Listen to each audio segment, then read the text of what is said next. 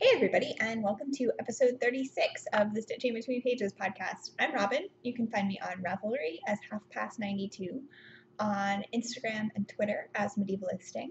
You can find the Ravelry group for the podcast um, over on Ravelry under the groups tab at Stitching Between Pages podcast. And you can find show notes for this and previous episodes at stitchingbetweenpages.blogspot.com. So today is Sunday, the 11th of September, um, and it is actually, I'm actually filming on Sunday, September, on Sunday for a change. Um, usually I film early and then upload on Sundays, but this weekend has been kind of crazy. And so I'm just now on Sunday afternoon. It is a beautiful day outside. Um, it's like 70 five ish degrees, I think. Um, but I am wearing jeans and a little cardigan because I am ready for fall.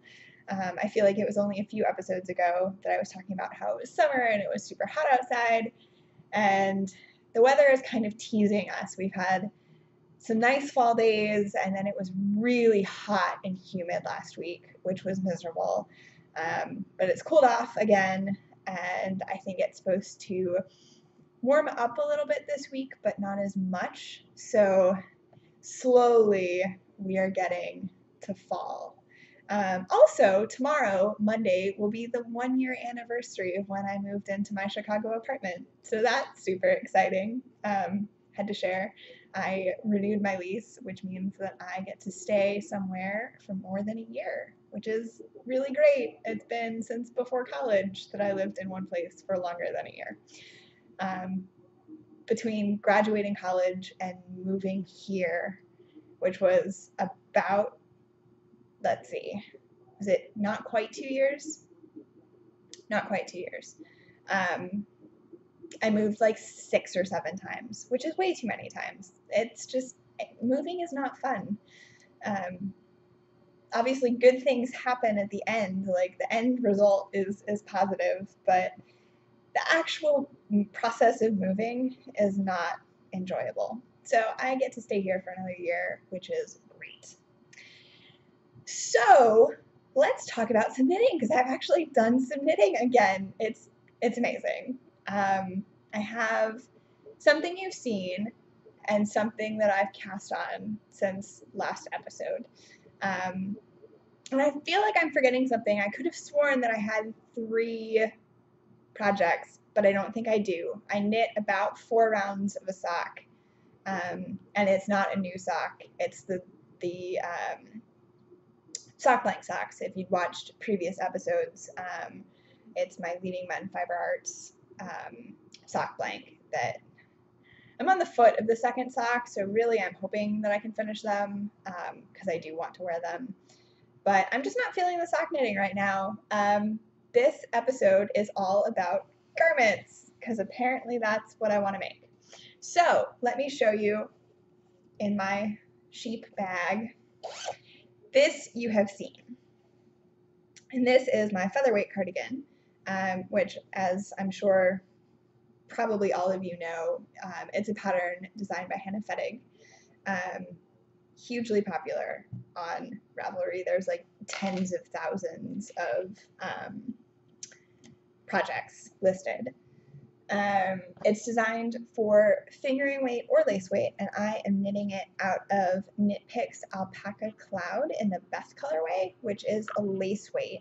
Um, since I bought this yarn, Knit Picks has come out with a fingering weight version of this yarn, which I would love to try because the lace weight is really soft. Um, it's really lovely to knit with. Here is the skein. I bought three skeins. It's this lovely muted purple color. I bought three skeins. Um, this is the second one, and I have maybe used a third of it. Um, I think I've knit the sleeves, and as you will see, I am now working on the, is it, what do you call it if it's, because I would call it the button band, but this is not the cardigan doesn't have buttons, so it's not technically, I guess, the collar, but it still carries on down the sides of the sweater. So I'm not sure what you call that. Anyways, that's where I am. I finished the I think when I showed this two weeks ago, I just started the second sleeve. And so I have two sleeves now. Um, they're about three quarter length, um, just past my elbows.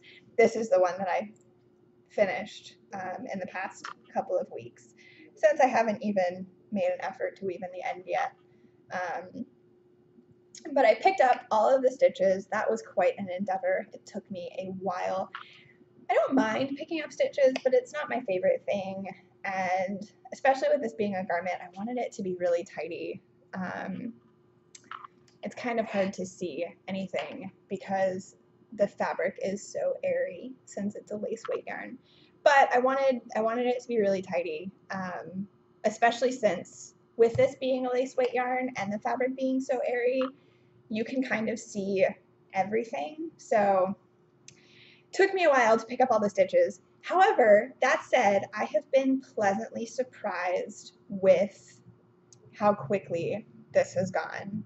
Um, I think the pattern suggests three and a half inches of ribbing. Actually, that's not true. The pattern suggests however many inches it is of stockinette, um, but says, you know, you can replace this with a lace pattern or one by one ribbing. And I think a lot of people choose to do ribbing because then it matches the bottom of the cardigan and the sleeves and it doesn't curl. And I did not want the curling um, to happen, so I am going with the one by one rib. I don't know, I keep picking up my tea. I made it 10 minutes ago. It is still way too hot to drink. Um, I'm just so excited that I'm, I'm back to drinking hot coffee in the mornings instead of iced coffee. And I like iced coffee, but I prefer hot coffee. Um, I had a couple of cups of tea last night while I was watching. Um, I started watching West Wing, and it's one of those shows that everybody has told me I would love. I know it's like highly, you know, well regarded, very acclaimed.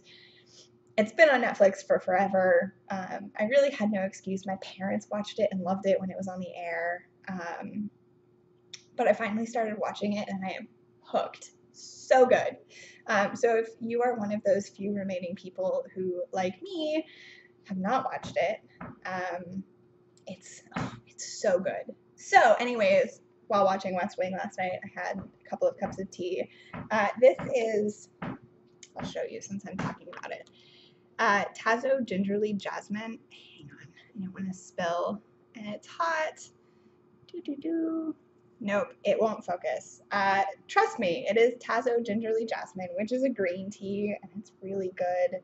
Um, it's kind of pricey though. It's they only sell it, or I have only found it in. They sell tea in boxes and bags, like a cardboard box with tea in individual bags. And then they also sell tea in tins with um, they're kind of like mesh sachets. They're a little bit fancier, I guess. Um, but they're also much more, they're several dollars more expensive, and I think there's fewer tea bags. Um, so I'm rationing this one. I think I'm down to only two bags of tea left after this cup.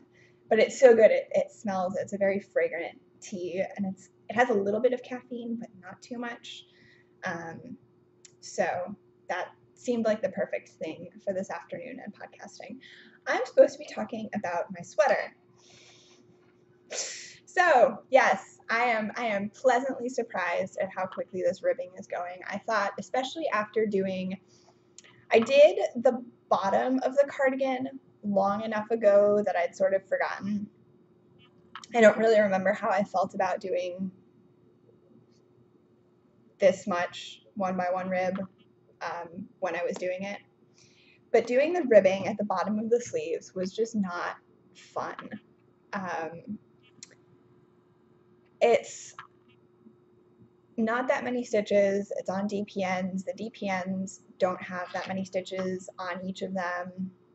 And I don't know, it just felt like a battle to constantly be changing knit and purl and then to have to interrupt to switch needles and it was not my favorite experience. Also, the ribbing, and I know it will sort itself out with blocking, but it just doesn't look very tidy to me. Um, and I'm I'm I'm certain that blocking will sort it out. Um, actually, somebody commented, I forget if they commented on the YouTube video of my last podcast or in the Ravelry group. I think it might have been on the YouTube video. And I read all of those comments. I'm not great at replying to them. I'm really sorry, but I do read all of them. Um, but somebody commented that they used this yarn to knit a garment but held it double and that they were amazed by how much blocking just transformed and neatened out the stitches um, more so than any other yarn they've knit with. Um, and I felt the same way when I blocked my swatch. I, I definitely remember being amazed at how much of a difference it made.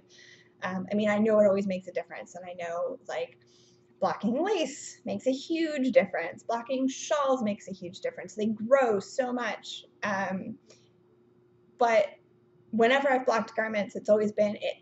It neatens it up a little bit, but it's not like a dramatic. And I remember this just like plain stockinette. It made such a difference um, once it was blocked. So I know that's what will happen to the untidy ribbing on the bottoms of the sleeves. But doing the longer rows, I think there's probably 300 stitches or so, maybe not quite, maybe 200. I don't know, I did not count. However many stitches are on my needle. Um, it's actually not that bad. It's kind of meditative. Um, so that's good. And hopefully, I don't want to jinx myself, but hopefully, when I podcast again in two weeks, um, this will be finished because it will be perfect for the sort of early fall transitional, even though it's really more of a spring color. I don't know. I'm not good at, you know, confining myself to only wearing certain colors in certain seasons. Um, like I would consider this a spring color, and it's almost I want it to be fall. I'm saying it's fall. Um, Labor Day is over. It's fall, right? Um, I'm just I I'm not good at confining myself to certain colors for certain seasons. So I will wear this in the fall. Um, and I think I said last time I'm really excited to wear it with my gray race skirt. I think they will be perfect together with just a plain um, plain top underneath the cardigan. So I am knitting this now that it's now that I'm done with the sleeves, so the DPNs are over. These are my US 6 Hiya Hiya Sharps, and that's a 4 millimeter, I do believe. Such great needles. I am a fan. I think that's all there is to say about my featherweight cardigan um, yeah, without jinxing myself, um, hopefully they'll hopefully it will be done next time I film. Because I really only have a few more rows of ribbing, and then it gets blocked, and then it's done. Yay! So that is that. Now, last episode, I asked everybody for their thoughts, experiences, um, successful finished objects of garments knit with sort of commercial affordable yarn. So Knit Cascade, that sort of thing. And I want to thank everybody who responded. There was such a huge outpouring of um, people sharing pictures, people talking about patterns they'd knit and loved, and yarns they'd used and loved. Um, advice on sort of how the yarn wore. Um, lots of people who have loved knitting sweaters out of Cascade 220, but not Cascade 220 superwash, um, which is great because I would have erred towards um, non superwash Cascade 220 superwash yarn. And nothing, I'm not at all, there's nothing wrong with it, but I always find that it grows too much when I block, and I'm just not I'm not good enough at planning ahead for the growth and even and somebody commented this or said this in the Ravelry, thread too that if you block a swatch, a superwash yarn swatch, it grows, right? And you can do the math and figure out, you know, okay, I knit a size smaller or I adjust the size I would have knit in these ways and it should work out. But knitting a swatch doesn't account for the weight of the finished garment there's just more sweaters hang. you know, they're worn downwards. And so if it grows lengthwise, you might end up with a sweater that is substantially longer than you wanted it to be. Um, so that was really useful. But it was also nice to see like all the different patterns people had knit. Um, and lots of love for sort of commonly available, affordable yarn. I will say that I have not ordered any yet. Um, I am looking at the, oh gosh, I should have looked this up. I had show notes last time. I do not have show notes today. Um, back to my usual flying by the seat of my pants ways. Um, I believe the pattern is called Wolf River. It's a pullover, it's lace, it's designed in Cascade Eco, which is super affordable. Um, I think I could knit an entire sweater for like $46, which is pretty good. Um, it's all over lace. It's it's beautiful. Um, so I have my eye on that. Um, I'm kind of thinking about it still. Um, and I'm mostly still thinking about it because I actually went through my stash and realized that I could knit a sweater out of what I had just in my stash, which is amazing because I am the queen of, stash, of stashing single skeins of yarn. Um, and single skeins of fingering weight yarn. Like this is not, I am not a sweater quantity stasher. Um, However, you might have seen on Instagram, I think it was Knit British and a yarn shop, and I'm not going to remember which yarn shop, but they had last weekend hashtag the big WIP rip. Just encouraging people to frog WIPs that had been languishing or that they knew they weren't going to finish and had just left sitting around and then to use that yarn to knit something that you would actually wear or use or gift or whatever. Um, so this inspired me. If you have been watching this podcast for a long time, um, like way back, this was probably, gosh, like episode five or six, maybe. Um, I went in May of last year to Philadelphia to visit um, one of my very good friends. And she's also a knitter, and so we visited two yarn shops. Um, one of them, unfortunately, went out of business since we visited, which is a shame because it was adorable. Um, but the other one is Loop. I think it's it's just Loop. Um, it's in Philadelphia. It's, it's probably I think probably the best known Philadelphia yarn shop. Um, I'll double check. I'm pretty sure it's just called Loop. Um, and I think I've talked about this before because there's Loop in London, and then there's one of my old local yarn shops, Looped, in Washington, D.C. Um, and I think this is just Loop, but it could be Loops. I'm not sure. Um, something along those lines. So we went there, and I bought two skeins of, um, it's their own yarn because I like to buy, as I think many of us do, yarns that we can't easily get um, in our own local yarn shops when we go to visit new places. Um, so I've got two skeins. It is, I think it's a sport, but it's a pretty plump sport. Um, it's called Loop Studio. And I looked, I've unfortunately the tags have gotten walkabout, which is not surprising because I bought this yarn in May of last year. Um, I thought about it for a while and I ended up casting on the Campside shawl by Alicia Plummer. Knit on it frantically for a while. Um, and it's, if you're not familiar, it's a big triangular shawl with eyelets that kind of that get more frequent as you go down the shawl, and then it ends with um, probably a couple of inches of two by two ribbing. It's really pretty. Um, it would have been big and cozy and I didn't finish it. Um, I got to the last set of eyelets. It's a free pattern, um, so you can, if you are, you know, I'm not giving anything away, and it's it's free. Um, I got to the last set of eyelets, and because I'm good at very simple knitting, just stockinette, I can do very complicated knitting. However, I am less good at the like if I have to count to three and then do something, and then or four, and then like knit two together, yarn over, knit four, knit two together, yarn over. I just fail at counting to four.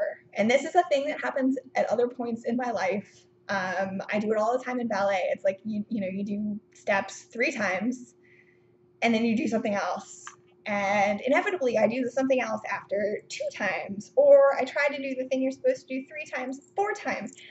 I can't count to you know four, and I know that that is what happened. Um, I, my eyelets just got off, and it's with a complicated lace pattern, you can hide a mistake a little bit more easily. Um, I find, anyways, and I don't know if anybody else feels this way. If there's a lot going on, one little error is less visible. But if your eyelets that are supposed to be staggered, right? So they don't line up, they're, they're offset if they start lining up, it's really noticeable. And there is, you know, there's nothing you can do short of tinking back or frogging back and starting over. And there were just so many stitches, and I just didn't want to do it. And I was kind of, as I'd gone on, I was less enamored with the pattern for myself. Um, I didn't really want to give it away because this was special yarn that I'd bought, you know, with my friend on a trip to knit something for myself. And so it languished. I think actually I picked it up for the last time shortly before I moved into this apartment. Um, I'm I'm almost positive.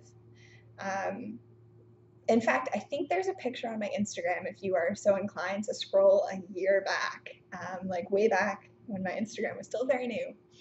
Um, there's a picture. My dad bought me a coffee, and I was knitting my shawl and like uploading the podcast maybe and I think that might have been the last time I worked on it because I realized that I had made a mistake and it was just, I didn't want to deal with it. So it went into timeout and I was like, I'll pick it up later.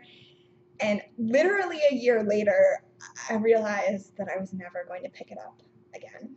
It was going to languish, which was a shame because the yarn is pretty. I love, I still love the yarn. Um, and it was just, it, so the big WIP rip I sat on my couch. I put my ball winder on the windowsill, put the shawl over my lap, and frogged. And it was so satisfying. It was so satisfying. Um, I thought I might be a little sad, and I was not sad at all. I was just satisfied. Oh, hello. Yes. Here, here is Nice. Hi, Nice. Oh, you're so pretty.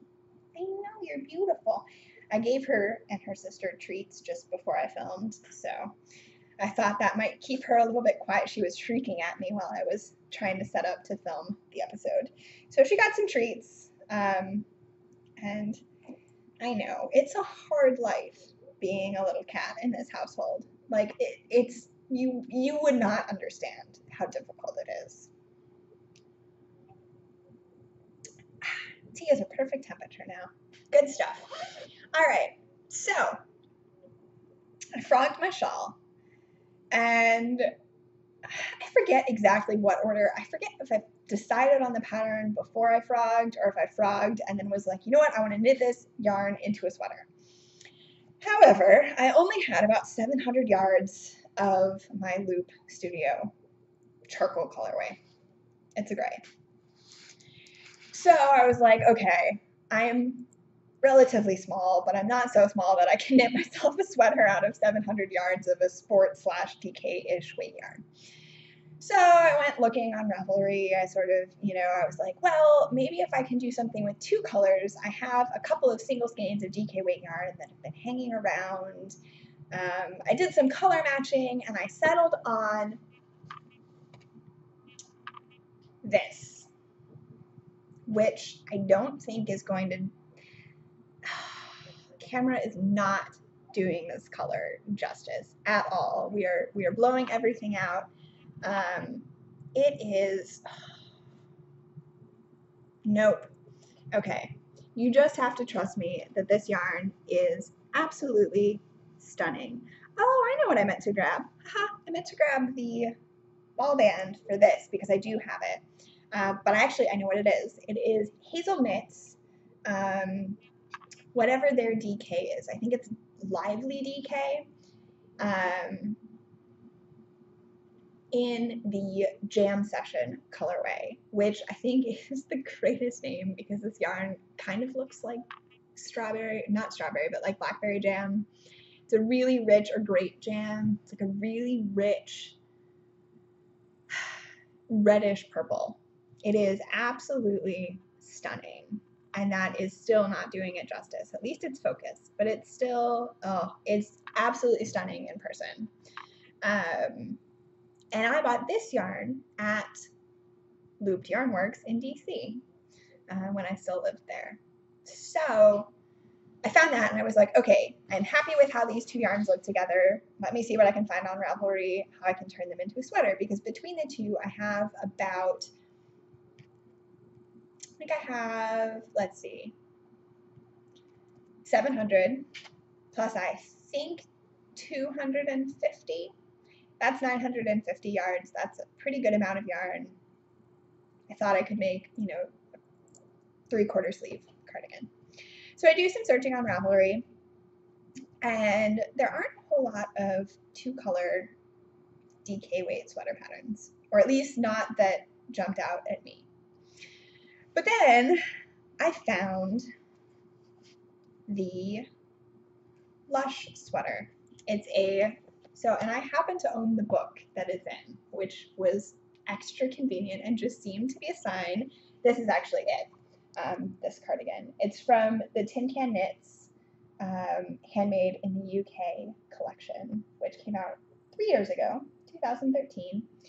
And I have knit, I bought this book because I was going to knit the Vivid Blanket, which I am still bound and determined to finish. I have two squares and then it'll be squared off um, and then I can decide if I want to knit more. I just need to I just need to get on with it.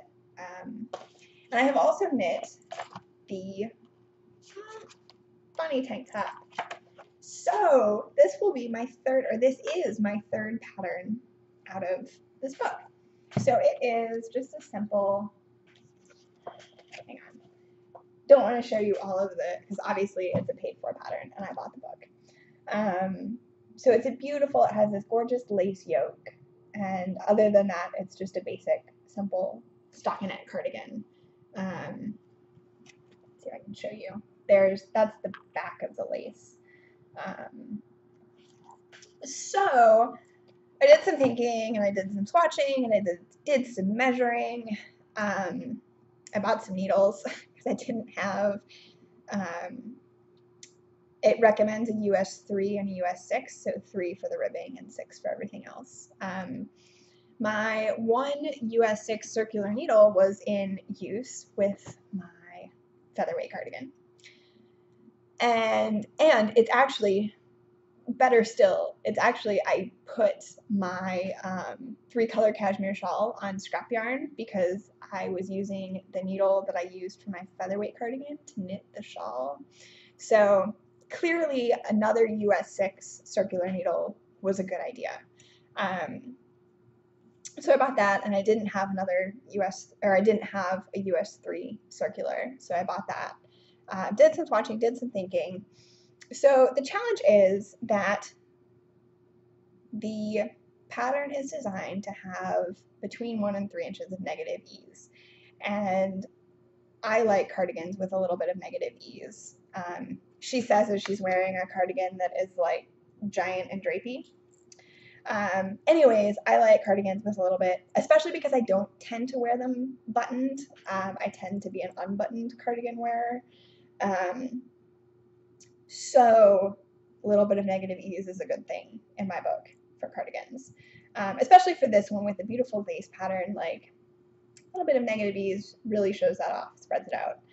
Um, and like many Tin Can Knits patterns, this cardigan is sized from zero to six months to ladies 4XL. So vast range of sizes. Um, except that the women's extra small would have, because I got gauge, And because I liked the fabric that I was getting, it would have had an inch of positive ease on me. So I am knitting a sort of mashup of the women's extra small and the largest child size, which is described as 11 to 12 years. so that's that. Um, doing a little bit of a mashup. Um, the 11 to 12 year size has a 31 inch chest measurement, and the ladies extra small is a 33. I fall smack dab in the middle at 32. So I I should really write up what I did and put it in my Ravelry notes. But I knit the it's really clever and I don't want to give too much away, but you knit the lace separately first. Then you block it. And because of that gross humid weather that I described, it took two days for my lace to dry. I was so I was like, please dry. I want to knit this cardigan. I want I want to, I want to be working on it. Um, it took two days to dry. Then you knit the collar and then you knit down um, and then obviously sleeves and button band. So I knit, let me show you. How about that? Since I've now been talking about this cardigan for like, gosh, 15 minutes maybe, and I haven't even shown it to you. So here is, um, this is the Loop Studio charcoal. Um, it's a tonal gray, and I'm actually, I'm being good and alternating skeins. Um, so this is actually less than a full skein. Um, this was the second skein I used when I was knitting my shawl, and so that I could wind it into a cake, I just cut the what I hadn't used and then wound this. So I have three cakes from two skeins. Um, this is the cake that is the whole skein. Um, so it's it's really it's a really beautiful. It's kind of a bluish gray, I would say, um, with hints of um, kind of almost a brownish gray. It's really pretty in person. It's it's a little bit more complex than you might think um, looking at it on camera. Apparently, my camera doesn't want to show you yarn today. Um, so what I have done is I have knit the lace in my jam session colorway. And then I knit up with the collar in the jam session colorway. Um, but I followed I have the number of stitches for the 11 to 12 year old size but I have but I follow the instructions for the ladies extra small. So there are more rows, um, both of stockinette and of ribbing, than there would be if I'd followed the directions for the largest girl size. I hope that makes sense. I am, seriously, I should really write this up and put it on my Ravelry project page, which I think currently just exists and says that I'm knitting this pattern. So then I've started knitting downwards in stockinette. I've divided for the sleeves, and here we are. So it's obviously kind of a top-down cardigan, or a shoulders out and then up and then down. um, but my plan is to do the waist shaping that's described for the ladies sizes. Um, the child sizes do not have waist shaping, they're just knit straight. And the waist shaping is optional on the lady sizes, but because um, I'm kind of straight up and down, it is a much better look if there's a little bit of something to try to give some definition. Um, and then my plan is to knit. I'm hoping I have enough yarn to do the ribbing at the bottom, the ribbing on the sleeves, and maybe the button bands in jam session. We shall see. I fear that I will be playing Yarn Chicken. Um, I hope I won't. I hope I have enough. Um, but I have a backup plan if I if I end up running out of yarn. So I'm not gonna tell you what it is because I'm hoping I don't have I don't need to implement my backup plan. So that is my cardigan. Um, as you can probably guess, I cast this on last weekend. I I'm not sure if it's um, I mean, I guess when you're coming out of a knitting slump, your knitting mojo wants what it wants.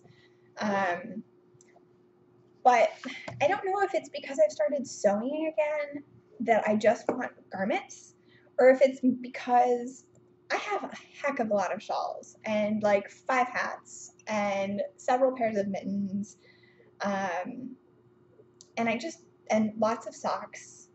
Um, and I like I'm a selfish knitter. I like to knit for myself, um, and I don't feel like I need any more accessories. Excuse me at the moment. Um, and I really haven't knit a ton of sweaters. I've knit two long sleeve cardigans. Um, I've knit the Bonny tank top, which isn't really a sweater, and I've knit a short sleeve sweater. I've also knit a baby sweater, but that does not count because it was not for me. Um, and also it was tiny. So cute though. Um, it had little elephants around the yoke and hearts. It was, oh, it was adorable.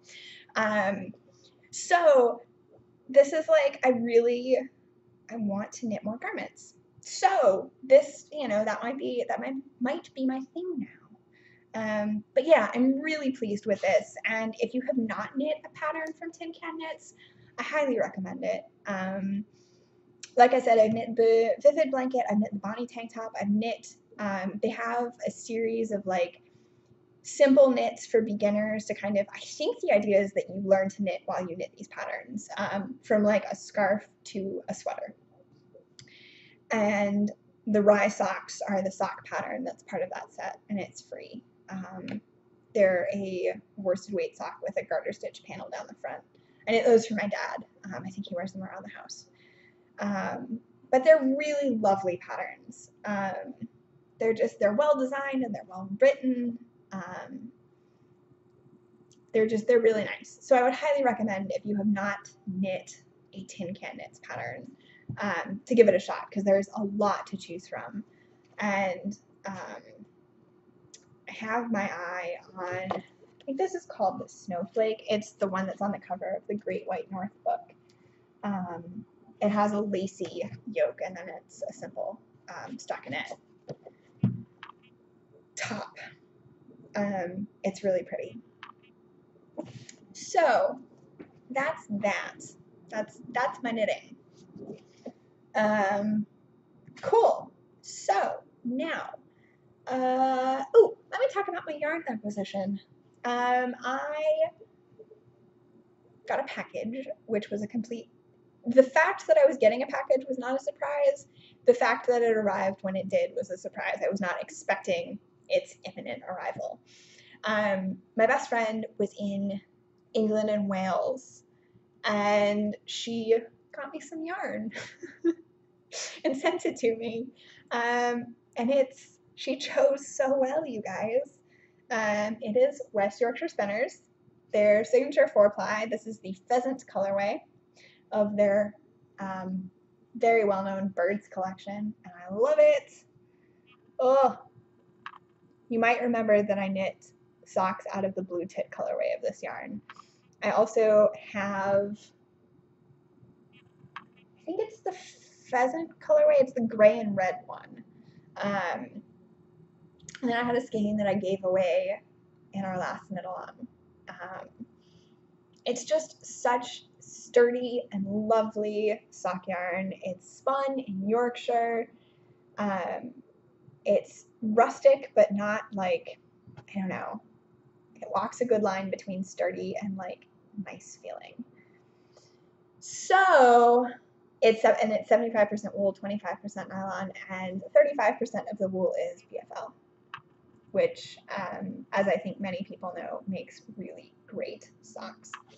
So she sent me this, and she sent me postcard of York. Yay! I have not been to York, and I really want to go. Um, the cathedral has some of the oldest, um, well-preserved stained glass in Europe, um, and it's just a beautiful medieval cathedral. Um, I really love visiting medieval churches. She also sent me because she is a good friend. Jaffa cakes, which I have not.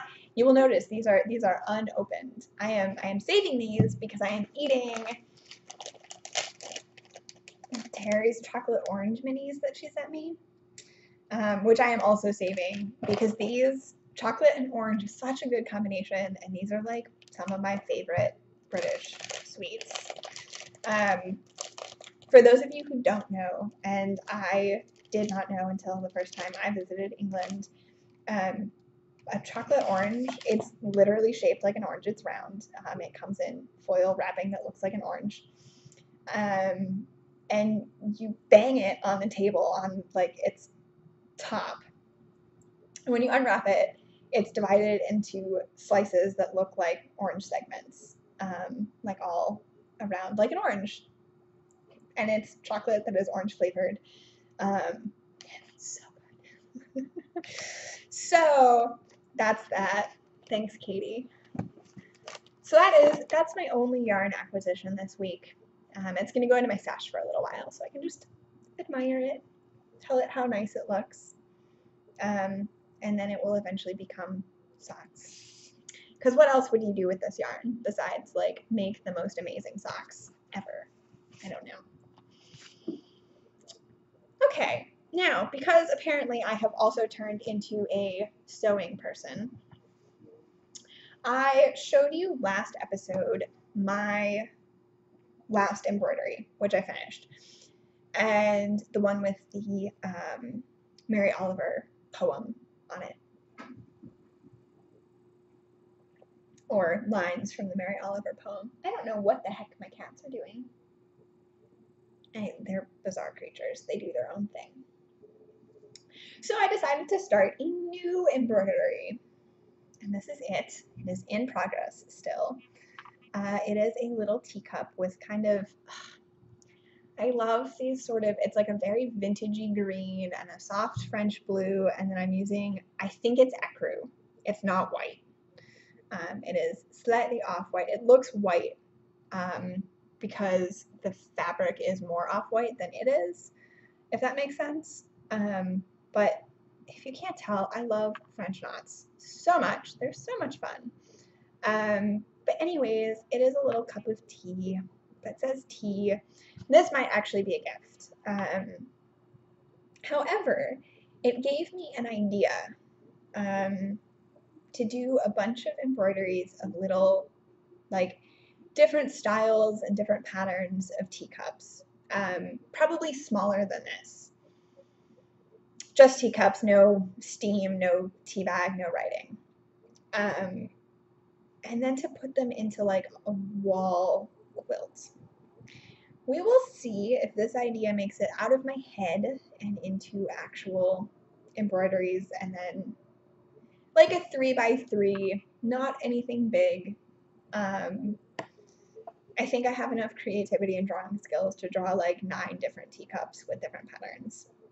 We'll see because my this is this is my drawing skills. This is this is it. This is the extent of how fancy I get with drawing. Um, my brother is the talented pencil artist in the family. Um, this is what I can do. So we'll see if that happens. But I've been thinking about it for a couple of days, and the idea has not, you know, it's not sort of fizzled out and gone away. Um, it would definitely be a long term project because I am not a quilter. Um, I have the Quilt As You Go Made Modern book and I love it and I want to make everything in it, but time and money. Unfortunately, I don't have an endless supply of either. So we'll see. I do, however, have still probably like a yard and a half of, I bought two yards of the this like lineny fabric that I use for embroidery. And so I have a bunch of that. So it would be really easy to at least embroider a bunch of teacups. so that's that. Um, hopefully it'll be done next time I next time I film. Again, I don't want to jinx these things. That seems like a bad idea. And then my washi dress is almost done. Um, I just have the binding on one sleeve left. um, or one armhole, and then I have to hem it. Um, but I've been taking it slow because I don't want it to be over. Um, because until yesterday, I didn't have another project lined up. Um, and I just, I wanted it not to end. So I need to finish binding. Sorry, my cats are like, I don't know. Vivi Grace is sitting on the back of the sofa and Noise is sitting on the windowsill, and they're just kind of watching the world go by. Um, I always wonder what, you know, like how much, I don't know how much cats, cats have good vision, but I don't know, you know, like can they see what's going on in the street really well? I, I don't know these things. Um, anyways, they love sitting on the windowsill and being city cats and like watching what's going on.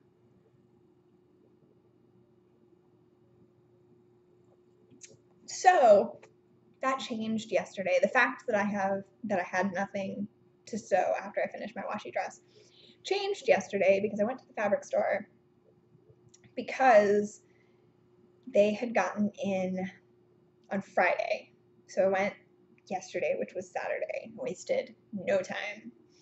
Um, the so the fabric company Cotton and Steel teamed up with Rifle Paper Co who design these beautiful floral note cards. I have a set and they're like my most treasured note cards um, because they're beautiful. The color sense is amazing. The flowers, the florals are beautiful. Um, and I'm not a super like feminine floral person. Um, I don't like tiny florals don't get me excited. Um, not really, that's not really my thing. Um, but I have loved Rifle Paper Co.'s products for a long time. Um, and then I found out that they put their designs on fabric, and I was like, I need this in my life. And then the fabric store that is not super close to me, but close enough that I can get there. And I have a friend who lives near near them as well, so it's convenient excuse um, either to go to the fabric shop or to visit my friend um, depending on which one I am, you know, in the process of doing anyways. So they got in this fabric. I posted it on Instagram, so if you follow me on Instagram, you might already know that I have this in my life. Look at it. Look at it.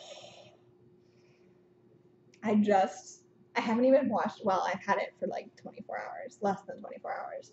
I haven't watched it yet because I just don't want to let it out of my sight. And I'm savoring its presence in my life. And I am like, you know, it can just be beautiful fabric for a few more days before I cut. Um, but oh, just like the corals, coral, and the golden yellow, and this blue is amazing. Oh, it's so, so pretty. I just love it. Everything about it makes me happy. So it is actually canvas. It is not cotton. Well, I guess canvas is cotton, but it's not a lightweight. It's not an apparel weight cotton or like quilting cotton or apparel weight cotton. It is. It is canvas. Hmm, canvas. Uh, wrong side, obviously. So thank goodness for the helpful lady at the fabric store. I'm going to make this, which is the Grainline Studio moss skirt. I'm going to make view A, which is mm, kind of a mini skirt, but maybe a little bit longer than a mini skirt, um, which is a little bit shorter than I usually like my skirts. Um, but she actually had a sample sewn up and let me kindly, very kindly, let me try it on. And I was sold. Um, I will wear it with leggings and boots and it'll be fine. Um, it's gonna be so cute. I'm actually like so excited. Um, and it involves sewing a fly and sewing a button and a buttonhole. And I just don't have any fear. I'm I'm going to go for it. Um, it will. It's it's gonna be great. I'm really excited. Um, and if you look, if you're curious, if you look on Instagram, there's a bunch of, you know, finished products that are beautiful. And so I'm really excited. about this. It's gonna be so great, you guys. I'm so excited. So that's that. Um, that's my my next sewing project, but I have to finish my washi dress first. Um, I won't say never, but I think I'm going to be a kind of a one sewing project at a time kind of gal, as opposed to knitting, which I always have more than one thing on the go. Um, like my many languishing sock WIPs. Alas. Anyways, that is that for the creativity side of this podcast. And so I have a book that I am going to talk to you about. And I'm mostly talking to you about this book today because I have to return it to the library because somebody else wants to read it. Um, I am really late to the party with this. It came out, I want to say, two years ago. No, last year. So I'm less late to the party than I thought I was, but I'm still a little late to the party. Uh, the Girl on the Train by Paula Hawkins, which is being made into a movie. Um, and I think everybody read this book last year. Like everybody. But if you are like me and have not yet read The Girl on the Train, um, it's I was surprised. I really enjoyed it. Um, I tend to I tend to wait a while before I read these sort of like blockbuster um, the books that everybody's reading. Just kind of let it settle a little bit and I don't know, if people are still reading it a little bit after it comes out, then I think maybe I'll give it a shot. Um, so I was I was pleasantly surprised, but I was not thrilled. There it is. Um, so I think people are probably comparing it to Gone Girl. I I don't know. I just like didn't follow any of the buzz about this book. Um, I also read Gone Girl um, which is by, oh gosh, what's her name? Gillian Flynn, I think. Um, and I actually read also Sharp Objects, also by Gillian Flynn. This is Paula Hawkins's first book. Um, Sharp Objects I thought was better, and I don't think I'm the only person who thought that. Um, one of my friends said that, and I was like, oh, thank goodness, somebody else who feels that way. That like Gone Girl made the biggest splash out of her. She has three books, and I haven't read. I forget what the third one is called, and I haven't read it. Um, Gone Girl made the biggest splash, but Sharp Objects was better. Um, it felt creepier, and I don't know. I've been looking for a really good, and now I'm, it's almost time to go back to school, so like my my time is is up. Um, but I wanted to read like a really gripping, like stay up all night, can't put it down thriller or mystery or like, you know, book that has weird, unexplained things going on and it all gets explained at the end. And this was good. I read it in, you know, three or four days. Um, I will read you, in case you have not read this book, I will read you the inside of the cover. Every day the same. Rachel takes the same commuter train every morning and night. Every day, she rattles down the track, flashes past a stretch of cozy suburban homes, and stops at the signal that allows her to daily watch the same couple breakfasting on their deck. She looks forward to it. She's even started to feel like she knows them. Jess and Jason, she calls them. Their life, as she sees it, is perfect, not unlike the life she recently lost. Until today. And then she sees something shocking. It's only a minute until the train moves on, but it's enough. Now everything's changed. Unable to keep it to herself, Rachel goes to the police. But is she really as unreliable as they say? Soon she is deeply entangled not only in the investigation, but in the lives of everyone involved. Has she done more harm than good? Compulsively readable, The Girl on the Train is an emotionally immersive Hitchcockian thriller and an, electrifying debut. Um, the characters are all terrible people. If it is not your thing to read books about terrible people, don't read this book um, I kind of like it.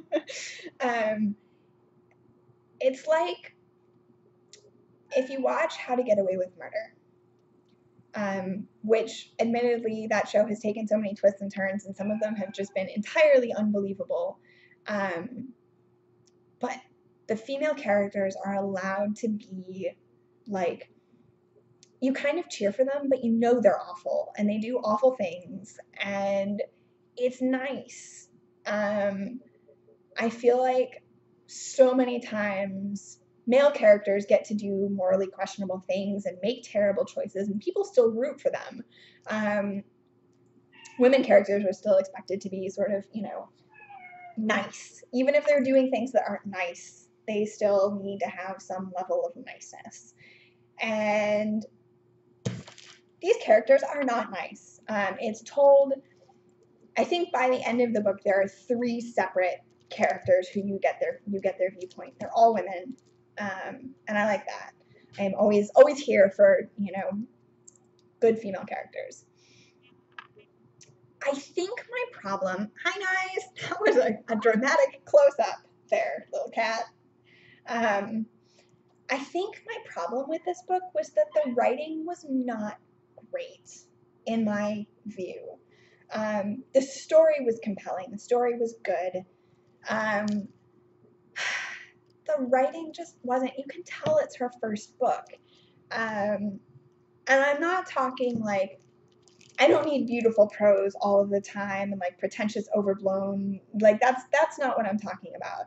Um, sometimes it's just the prose just needs to not get in the way of the story. And there were times that I felt her prose got in the way of the story that she was telling. Um, which it's her first book. She used to be a journalist, I think.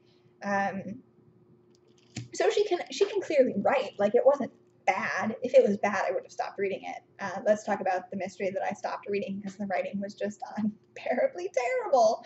Um, that was like a couple weeks ago. I won't say what mystery it was. but it just there were there were just times where I was like, you didn't really need to put a semicolon there. That could have just been two sentences, and it wouldn't wouldn't have distracted me. Or there were moments where the pacing was just slightly off. Um, it the, the plot should have moved ahead just a little bit quicker than it than it actually did. Um, and I know like those those are my opinions. I know there's like millions of people out there who have loved this book.